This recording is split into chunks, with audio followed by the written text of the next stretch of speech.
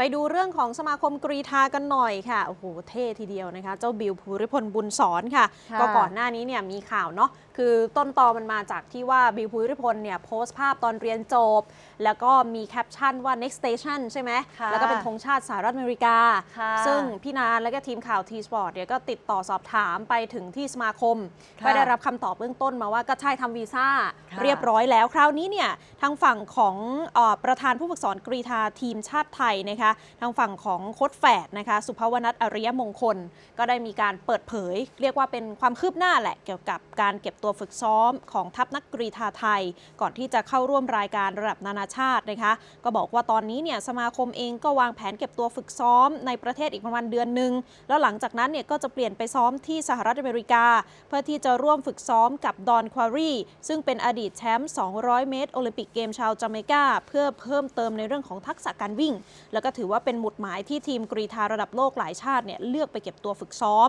แล้วก็ยังบอกถึงประเด็นของภูริพลบุญสอนด้วยนะคะบอกว่า อย่างตัวของบิวเนี่ยการไปเก็บตัวฝึกซ้อมที่สหรัฐอเมริกาเนี่ยถามว่ามีเป้าหมายอะไร ก็บอกว่าเป้าหมายอยากจะวิ่งต่ำกว่า 10 วินาทีให้ได้ ถึงแม้ว่าจะเป็นเรื่องยาก แต่ก็เชื่อว่าศักยภาพของตัวเขาเนี่ยน่าจะไปถึงจุดนั้นได้ เพราะว่าตลอดการฝึกซ้อมที่ผ่านมาก็ถือว่าสถิติของบิวเนี่ยใกล้เคียงนะที่จะมีโอกาสทำเวลาต่ำกว่า 10 วินาที ซึ่งถ้าหากทำได้ก็มีโอกาสจะผ่านการคัดเลือกไปโอลิมปิกเกม 2024 ที่ปารีสในช่วงกลางปีนี้อะนั่นหมายความว่าการไปซ้อมที่สหรัฐอเมริกาพี่นานสรุปแล้วเนี่ยคือก็คือทางสมาคมอะพานักกีฬาไปเก็บตัวฝึกซ้อมที่นั่นทุกคนแหละถูกไหมถ้าถ้าถ้าตามจากในข้อมูลที่อัปเดตแบบนี้ คือตอนแรกเนี่ยเราตั้งข้อสังเกตได้ว่าเอ้ยจะเป็นการไปเรียนที่มหาลัยที่สหรัฐอเมริกาหรือเปล่า แต่ว่าจากการให้สัมภาษณ์ของโค้ชแฟกเนี่ยบอกว่าเดี๋ยวจะพานักกีฬาไปเก็บตัวที่สหรัฐอเมริกาก่อน คือซ้อมในประเทศเดือนหนึ่งแล้วหลังจากนั้นเนี่ยก็ไปสหรัฐอเมริกานั่นเอง ค่ะ แต่การเปิดเผยข้อมูลนี้นี่ถือว่าเป็นการเปิดเผยผ่านสารคดีนะคะ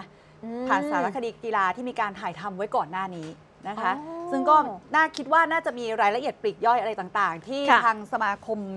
กรีธาแห่งประเทศไทยในพระบรมราชูปถัมภ์อืมน่าจะมีการเปิดเผยกับสื่อออกมาเพิ่มเติมค่ะคาดคาดว่าเป็นอย่างนั้นเนื่องจากอืมว่า